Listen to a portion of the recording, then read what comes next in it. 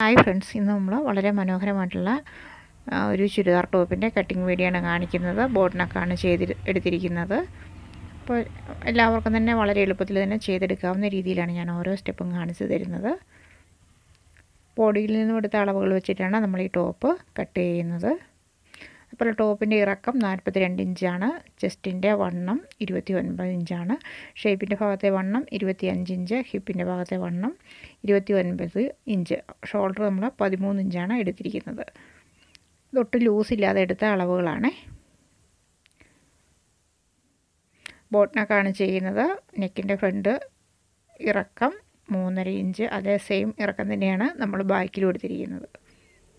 കൈക്കുഴി നമുക്ക് ഫുൾ റൗണ്ടായിട്ട് പതിനാറ് ഇഞ്ചാണ് ഇട്ടിരിക്കുന്നത്. സ്ലിറ്റ് നമ്മൾ പതിനേഴ് ഇഞ്ചിലാണ് ചെയ്യുന്നത്. കൈയുടെ ഇറക്കം ത്രീ ഫോർത്ത് സ്ലീവാണ് പതിമൂന്ന് ഇഞ്ചാണ്. കൈയുടെ താഴ്ഭാഗത്തെ വണ്ണം നമുക്ക് ഏഴര ഇഞ്ചാണ് കിട്ടിയിരിക്കുന്നത്. ഇങ്ങനെയാണ് ഞാനത് പാറ്റേൺ ചെയ്തിരിക്കുന്നത്. Shoulder arm round chest shape hip bottom round ഇതെല്ലാം നമ്മൾ കറക്റ്റായിട്ട് ഞാൻ കാണിച്ചു തന്നിട്ടുണ്ട്. കഴുത്തിന്റെ അകലം ഈ ഭാഗത്താണ് വരുന്നത് അതേപോലെ കഴുത്തിറക്കം എന്ന് പറയുന്നത് ഈ ആരോ മാർക്ക് കൊടുത്തിരിക്കുന്ന ഭാഗമാണ്. വളരെ മനോഹരമായിട്ടൊരു ബോർഡിനൊക്കെ ഞാൻ ചെയ്തു വെച്ചിട്ടുണ്ട്. Chest by four plus loose ഇട്ടിട്ട് അതിന്റെ കൂടെ നമ്മൾ തയ്യൽ തുമ്മുകളിട്ടാണ് ചെയ്യുന്നത്. അതേപോലെ തന്നെ നമ്മൾ ഷേപ്പിന്റെ ഭാഗത്തും ഹിപ്പിന്റെ ഭാഗത്തും എല്ലാം നമ്മൾ ലൂസ് ഇട്ടിട്ട് തയ്യൽ തുമ്പും ചേർത്തിട്ടാണ് കട്ട് ചെയ്യുന്നത്. അപ്പോൾ ചെസ്റ്റ് ഇരുപത്തി ഒമ്പത് ഇഞ്ചാണ് നമുക്ക് കിട്ടിയിരിക്കുന്നത്. അതിനെ നാലും കൊണ്ട് ഡിവൈഡ് ചെയ്യുക. അതിന്റെ ഒരു ഇഞ്ചാണ് നമ്മൾ ലൂസ് ഇടുന്നത്. അതേപോലെ ഒന്നര ഇഞ്ച് തയ്യൽ തുമ്പും. അപ്പോൾ നമുക്ക് കിട്ടുന്നത് പത്തേ കാലിഞ്ചാണ് നമ്മൾ ഒട്ടും ലൂസ് ഇല്ലാതെയാണ് നമ്മൾ അളവെടുത്തിരിക്കുന്നത്. കറക്റ്റായിട്ടാണ് പിടിച്ചിരിക്കുന്നത്. അപ്പോൾ നമുക്ക് ഒരു ഇഞ്ച് ലൂസ് ഇട്ടാലോ നമുക്ക് ടൈറ്റ് ഇല്ലാതെ കറക്റ്റായിട്ട് സ്റ്റിച്ച് ചെയ്യാൻ പറ്റുള്ളൂ. ഷേപ്പിന്റെ ഭാഗത്തെ വണ്ണം നമുക്ക് കിട്ടിയിരിക്കുന്നത് ഇരുപത്തി അഞ്ച് ഇഞ്ചാണ്. അതിനെ നാലും കൊണ്ട് നമ്മൾ ഡിവൈഡ് ചെയ്യുന്നു. ഒരു ഇഞ്ചാണ് നമ്മൾ ലൂസ് ഇടുന്നത്. അതേപോലെ തന്നെ ഒന്നര ഇഞ്ച് തയ്യൽ തുമ്പ്. അപ്പോൾ നമുക്ക് എട്ടേ മുക്കാലാണ് ഷേപ്പിന്റെ ഭാഗത്തെ വണ്ണം മാർക്ക് ചെയ്യേണ്ടത്. അതുപോലെ തന്നെയാണ് ഹിപ്പിന്റെ ഭാഗത്തെ വണ്ണം ഇരുപത്തി ഒമ്പത് ഇഞ്ചാണ്. അതിനെ നാലും കൊണ്ട് ഡിവൈഡ് ചെയ്യുക. ഇവിടെ നമ്മൾ ലൂസ് അര ഇഞ്ചാണ് ഇടുന്നത്. പിന്നെ നമുക്കിവിടെ ഒരു ഇഞ്ചാണ് തയ്യൽ തുമ്പ് ഇടേണ്ടത്. അപ്പോൾ നമുക്ക് എട്ടേ മുക്കാലിലാണ് ഹിപ്പിന്റെ ഭാഗത്തെ മാർക്കിങ്ങും ചെയ്യേണ്ടത്. ഇത് ഈ ഒരു മെഷർമെന്റിൽ നമ്മൾ ടോപ്പ് സ്റ്റിച്ച് ചെയ്യുകയാണെങ്കിൽ വളരെ നല്ല ഷേപ്പിൽ തന്നെ നമുക്ക് സ്റ്റിച്ച് ചെയ്തെടുക്കാൻ പറ്റും.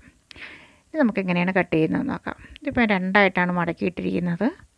അതിനെ നമ്മൾ ഒന്ന് ഫോൾഡ് ചെയ്യും അപ്പോൾ നാല് ലെയറായിട്ടാണ് തുണി വരുന്നത്. ഫോൾഡ് ചെയ്ത ഭാഗം നമ്മളുടെ വശത്തേക്ക് വരുന്ന രീതിയിലാണ് ഇടേണ്ടത്. ഇതുകൊണ്ട് ഇപ്പോൾ നാല് ലെയറായിട്ടാണ് തുണി കിടക്കുന്നത്. ബാക്കും ഫ്രണ്ടും ഒന്നിച്ചിട്ടാണ് വെട്ടുന്നത്. നമ്മൾ ഇറക്കമാണ് എടുക്കുന്നത്. നമ്മൾക്ക് ടോപ്പിന്റെ ഇറക്കം കിട്ടിയിരിക്കുന്നത് നാൽപ്പത്തിരണ്ട് ഇഞ്ചാണ്. അതിന്റെ ലൈനിങ് ഇടുമ്പോൾ നമ്മൾ രണ്ട് ഇഞ്ച് കുറച്ചിട്ടാണ് എടുക്കുന്നത്. നാൽപ്പത് ഇഞ്ചിലാണ് ലൈനിങ് എടുക്കേണ്ടത്.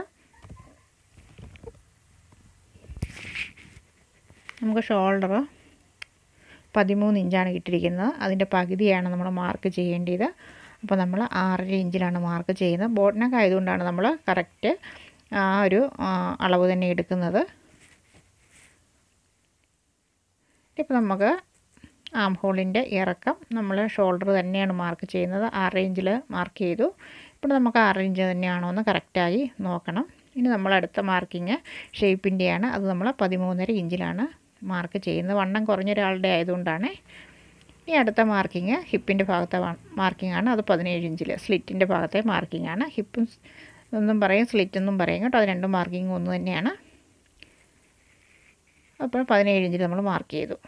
ഇനി നമുക്കിതിനെല്ലാം ഒരു സ്ട്രേറ്റ് ലൈനാക്കി മാറ്റാം.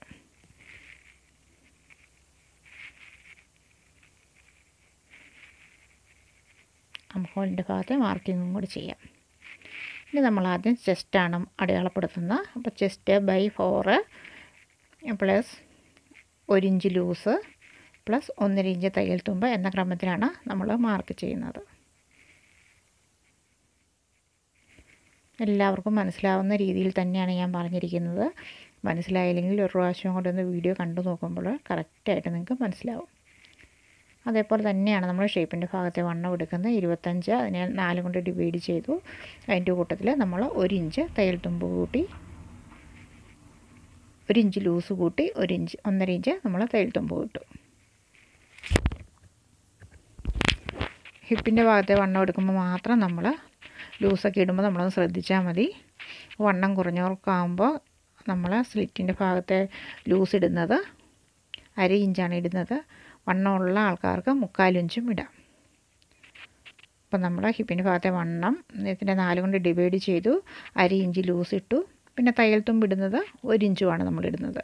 നമ്മൾ മുകളിൽ ഒന്നരയല്ലേ ഇട്ടേക്കുന്നത് ഇവിടെ നമുക്ക് ഒരു ഇഞ്ചാണ് ഇടേണ്ടത് ഈ വണ്ണത്തിന്റെ ഒരു ഇഞ്ച് കൂട്ടിയാണ് നമ്മൾ താഴെ ഭാഗത്തെ ബോട്ടം റൗണ്ട് എടുക്കേണ്ടത്. ബോട്ടം റൗണ്ടും എന്ന് പറയും ഹെമ്മിങ് റൗണ്ടും എന്ന് പറയും.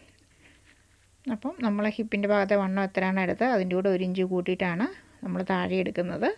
അതേപോലെ ഒരു ഇഞ്ച് തയ്യൽ തുമ്പ് ഇടും. ഇനി നമുക്കിതിനെല്ലാം ഒന്ന് ജോയിൻ ചെയ്തെടുക്കാം.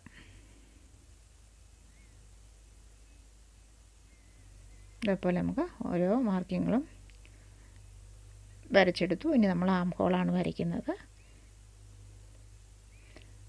നമുക്കിതേപോലെ കറുവ് വെച്ച് വരയ്ക്കാം. അല്ലാതെ കൈ കൊണ്ടും നമുക്ക് വരച്ചെടുക്കാം. ഇനിയിപ്പോൾ നമ്മളിതൊന്ന് അളന്ന് നോക്കുക.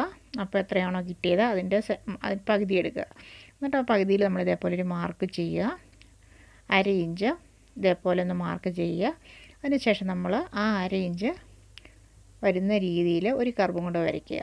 ഇതാണ് നമ്മളെ ഫ്രണ്ട് ആം ഹോൾ. ഇനി നമുക്കൊന്ന് പിൻ ചെയ്ത് വെച്ചതിന് ശേഷം കട്ട് ചെയ്യാം. ഇത് ഇങ്ങനെ അല്ലെങ്കിൽ അങ്ങോട്ടും ഇങ്ങോട്ടും മാറിപ്പോകാനുള്ള സാധ്യതയുണ്ട് ഈ തുണിയ. ക്രേപ്പിന്റെ തുണിയാണ്. അതുകൊണ്ട് ഞാൻ നല്ല നല്ല രീതിയിൽ പിൻ ചെയ്ത് വെച്ചിട്ടാണ് കട്ട് ചെയ്യുന്നത്. അപ്പോൾ നമ്മൾ കട്ട് ചെയ്യുമ്പോൾ ബാക്ക് ആം ഹോൾ വരച്ചത് കൂടെ വേണം കട്ട് ചെയ്തെടുക്കാനായിട്ട്. ഫ്രണ്ട് ആം ഹോൾ വരച്ചത് നമ്മൾ കട്ട് ചെയ്ത് മാറ്റിയതിന് ശേഷമാണ് കട്ട് ചെയ്ത് കട്ട് ചെയ്തെടുക്കേണ്ടത്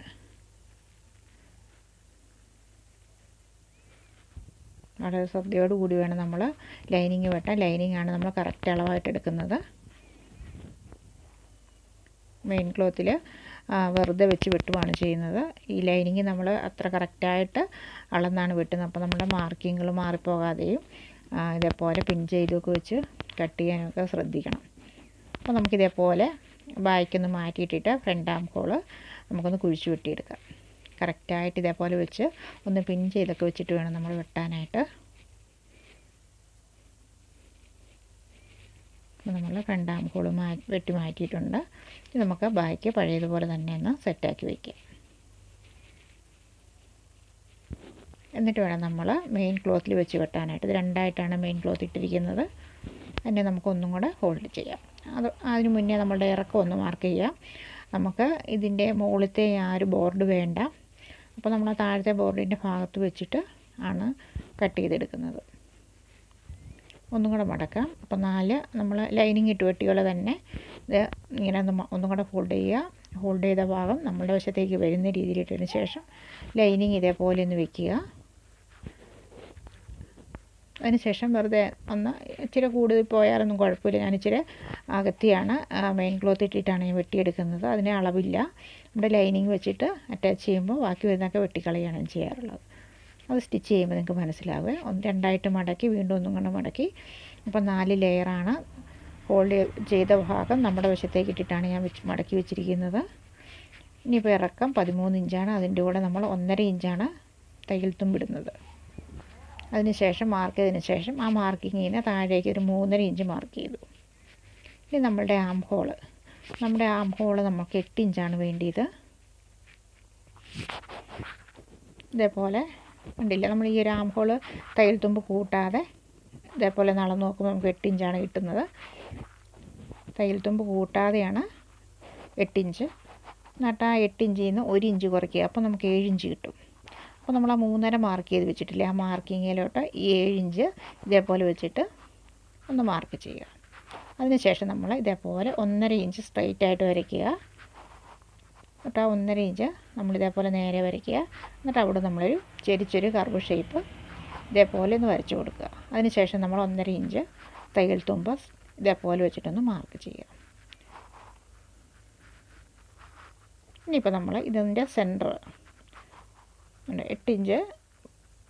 ഒരു ഇഞ്ച് അതേപോലെ മാർക്ക് ചെയ്യുക. അതിനുശേഷം സെന്റർ നാലിഞ്ചിൽ മാർക്ക് ചെയ്യുക. അര ഇഞ്ച് താഴേക്ക് മാർക്ക് ചെയ്യുക. അതിന് ശേഷം ഇതുകൊണ്ട് ഒന്നര ഇഞ്ച് സ്ട്രൈറ്റ് ആയിട്ട് കൊണ്ടുവന്ന് വെച്ച് ആ അര ഇഞ്ച് മുട്ടിച്ച് നമ്മൾ ഒരു ഇഞ്ച് മാർക്ക് ചെയ്തത്തെ കൊണ്ടുപോയി മുട്ടിച്ച് നിർത്തുക. അപ്പോൾ നമ്മുടെ ഫ്രണ്ട് ആം ഹോളായി താഴെഭാഗത്തെ വണ്ണം നമുക്ക് ഏഴര ഇഞ്ചാണ്. അതിന്റെ പകുതി മൂന്നേ മുക്കാൽ ഇതേപോലെ ഒന്ന് മാർക്ക് ചെയ്യുക. ഒന്നര ഇഞ്ച് തയ്യൽ തുമ്പിടുക മുട്ടിന്റെ ഭാഗത്തെ വണ്ണവും അതേപോലെ തന്നെ ഏഴര ഇഞ്ചായിരുന്നു. അപ്പോൾ മൂന്നേ മുക്കാലിട്ടു ഒന്നര ഇഞ്ച് തയ്യൽ തുമ്പിട്ടു പിന്നെ അതിന് കുറച്ച് മുകളിലായിട്ടുള്ള വണ്ണം നാലേ കാലായിരുന്നു. അതിന്റെ കൂടെ ഒന്നര ഇഞ്ച് തയ്യൽ തുമ്പ് കിട്ടും എട്ടിഞ്ചുണ്ടോ എന്ന് കറക്റ്റായിട്ടൊന്ന് ചെക്ക് ചെയ്ത് നോക്കുക. അതിന് ശേഷം നമുക്ക് ഇതേപോലെ ഒരു കർവ് ഷേപ്പ് വരച്ചെടുക്കാം. കറക്റ്റായിട്ട് ആ ഒരു ചെരിവ് കറക്റ്റായിട്ട് വരണം കേട്ടോ. നമുക്ക് കട്ട് ചെയ്തെടുക്കാം. പിൻ ചെയ്ത് വെച്ചതിന് ശേഷം നമുക്കൊന്ന് കട്ട് ചെയ്തെടുക്കാം. ഇതും ലൈനിങ് ആണ്. ഞാൻ കറക്റ്റായിട്ടുള്ള അളവായിട്ട് എടുക്കുന്നത്. മെയിൻ ക്ലോത്തിൽ വെറുതെ വെച്ച് വെട്ടിയെടുക്കുകയാണ് ചെയ്യുന്നത്.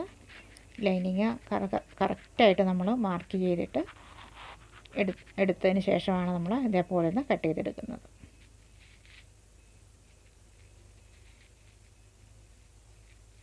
സ്റ്റിച്ച് ചെയ്യാൻ പോകുമ്പോഴാണ് ഞാൻ ഇതിന്റെ ആം ഹോൾ കുഴിച്ച് വെട്ടുന്നത് ഇപ്പോൾ ഞാൻ കുഴിച്ചു വെട്ടുന്നില്ല. കണ്ടില്ലേ? ഇപ്പോൾ ഇതേപോലെ രണ്ടായിട്ട് ഹോൾഡ് ചെയ്തിട്ടിട്ടുണ്ട്. നമുക്ക് ഈ താഴെ സ്ലീവിന്റെ സ്ലീവിൽ താഴെ ഭാഗത്ത് ബോർഡ് വരുന്ന രീതിയിലാണ് നമ്മൾ മെയിൻ ക്ലോത്ത് എടുക്കുന്നത്. അപ്പോൾ നാലായിട്ട് മടക്കിയിട്ടു ഇനി ഇതേപോലെ നമുക്കിതൊന്ന് വെച്ചിട്ട് ഒന്ന് വെട്ടിയെടുക്കാം.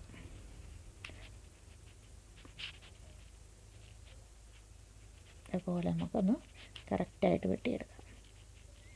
അപ്പോൾ നമ്മുടെ സ്ലീവിന്റെ കട്ടിങ്ങും കഴിഞ്ഞു. ഇനിയിപ്പോൾ നമ്മൾ ഫ്രണ്ടിലൊരു ബോർഡ് വയ്ക്കുന്നുണ്ട് അത് പതിമൂന്ന് ഇഞ്ചിൽ നമ്മൾ ഇതേപോലെ ഒന്ന് മാർക്ക് ചെയ്തിട്ട് കറക്റ്റായിട്ടൊന്ന് വെട്ടിയെടുക്കാം. ഇവിടെ അര ഇഞ്ച് നീക്കി വേണം നമ്മൾ മാർക്ക് ചെയ്യാനായിട്ട്. നമുക്കിതൊന്ന് വെട്ടിയെടുക്കാം.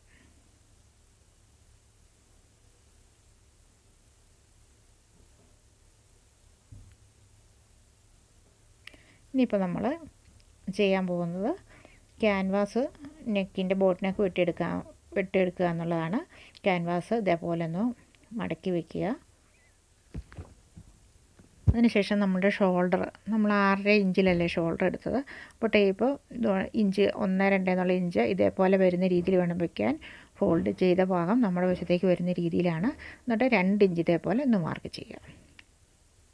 നമ്മൾ ഷോൾഡറിന്റെ വീതി രണ്ട് ഇഞ്ചാണ് എടുക്കുന്നത്. നമ്മൾ ആ ബോട്ട് നെക്കിന്റെ ഇറക്കം മൂന്നര ഇഞ്ചാണ്. അതേപോലെ മൂന്നര വെച്ചിട്ട് ഒന്ന് മാർക്ക് ചെയ്യുക. ഇതേപോലെ ഒരു ബോക്സ് ആക്കി മാറ്റുക. അതിനുശേഷം ഇതേപോലെ ഒരു കർവ് എടുത്ത് നമുക്കൊരു ബോട്ട് നെക്ക് വരച്ചെടുക്കാം കർവില്ലാത്തവർ കൈ കൊണ്ട് വരച്ചാലും കുഴപ്പമൊന്നുമില്ല. എന്നിട്ട് നമ്മൾ ഒരു ഔട്ട്ലൈന് ഒരു ഇഞ്ചിൽ കൊടുക്കുവാണ്.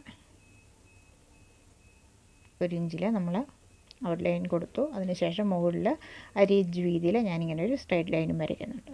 എന്നിട്ട് നമുക്കിത് പിൻ ചെയ്ത് വെക്കണം. പിൻ ചെയ്ത് വെച്ചതിന് ശേഷം നമുക്കിത് കറക്റ്റായിട്ടൊന്ന് വെട്ടിയെടുക്കാം. ഇതേപോലെ നമ്മൾ വെട്ടുമ്പോൾ നമ്മൾ ആ മാർക്ക് ചെയ്ത് കൊടുത്ത് കൊണ്ട് നിർത്തിയിട്ട് ഇവിടെ കൊണ്ട് നിർത്തുക. അതിനുശേഷം നമുക്ക് ഇവിടുന്ന് നെക്ക് കറക്റ്റായിട്ടിരിക്കാൻ വേണ്ടിയിട്ടാണ് അളവ് മാറിപ്പോകാതിരിക്കാനാണ് നമ്മളിങ്ങനെ ചെയ്യുന്നത്. അപ്പോൾ നമുക്ക് ഇതേപോലെ ബോട്ടിനൊക്കെ വെട്ടിയെടുക്കാൻ പറ്റിയിട്ടുണ്ട്. ഇതേപോലെ തന്നെ ബാക്കും വെട്ടിയെടുത്തിട്ടുണ്ട്. ഇനി നമുക്ക് ക്ലോത്തിൽ വെച്ച് ഒന്ന് അയൺ ചെയ്തെടുക്കാം. ഇതുണ്ട്. ഇവിടെ ഒരു മിനുസം പോലുള്ള ഭാഗം പശയാണ്. ആ പശ ക്ലോത്തിലേക്ക് വരുന്ന രീതിയിൽ വെച്ചിട്ട് വേണം നമ്മളൊന്ന് അയൺ ചെയ്തെടുക്കാൻ. നന്നായിട്ട് അയൺ ബോക്സ് ചൂടാക്കി നല്ല പ്രസ് ചെയ്ത് തേച്ചാൽ അത് തുണിയിൽ ഒട്ടിപ്പിടിക്കും. എന്നിട്ട് നമുക്കൊന്ന് കട്ട് ചെയ്ത് മാറ്റാം. അപ്പോൾ നമുക്ക് ഇതേപോലെ കിട്ടിയിട്ടുണ്ട്. അപ്പോൾ ആദ്യമായിട്ടാണ് എന്റെ വീഡിയോ കാണുന്നതെങ്കിൽ ഇപ്പോൾ തന്നെ കൂട്ടുകാരെ ഒന്ന് സബ്സ്ക്രൈബ് ചെയ്തേക്കുക. അതേപോലെ ലൈക്ക് ചെയ്യാനും ഷെയർ ചെയ്യാനും കമന്റ് ചെയ്യാനും ഒന്നും മറക്കരുത്. നിങ്ങൾക്ക് എന്തെങ്കിലും സംശയമുണ്ടെങ്കിൽ നിങ്ങൾക്ക് കമന്റ് ബോക്സിൽ ചോദിക്കാം. അപ്പം ഇതിന്റെ സ്റ്റിച്ചിങ് വീഡിയോ ഉടനെ ഞാൻ ഇടുന്നുണ്ട്. സബ്സ്ക്രൈബ് ചെയ്യാൻ ആരും മറക്കരുത്. താങ്ക്